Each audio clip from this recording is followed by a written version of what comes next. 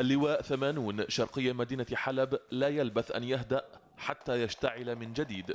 وجديد هذه المعارك مقتل ما لا يقل عن 15 عنصرا للنظام.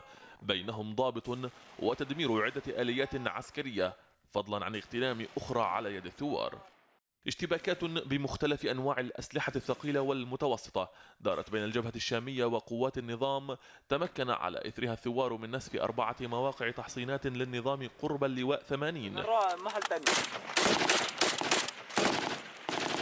الناشطون أفادوا باندلاع معارك عنيفة بين الطرفين في محيط قرية البريج وتلة الغالي.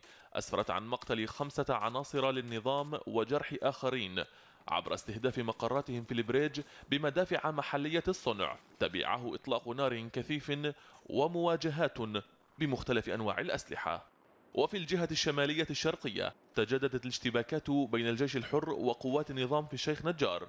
استهدف الثوار خلالها بقذائف الهاون تحصينات للنظام في المنطقة الواقعة بين سجن حلب المركزي والمدينة الصناعية.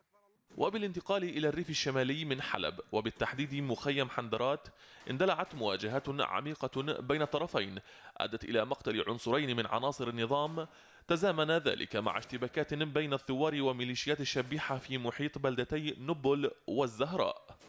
أما في حلب المدينة فقد استهدف الثوار بمدافع محلية الصنع مواقع لقوات النظام في مبنى المخابرات الجوية بحي جمعية الزهراء. في حين اندلعت اشتباكات بين الطرفين في محيط مدرسة الحكمة وكتيبة الدفاع الجوي بحي الراموسة.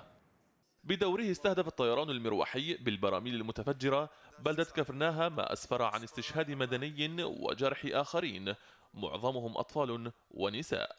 في الأثناء شن الطيران الحربي بالصواريخ الفراغية عدة غارات جوية على قرى وبلدات حريتان وخان العسل دون ورود أنباء عن إصابات. قصف مماثل طال كذلك أحياء الميسر وبعيدين ما أدى إلى استشهاد تسعة مدنيين وجرح آخرين إلى جانب دمار واسع في المباني السكنية والممتلكات.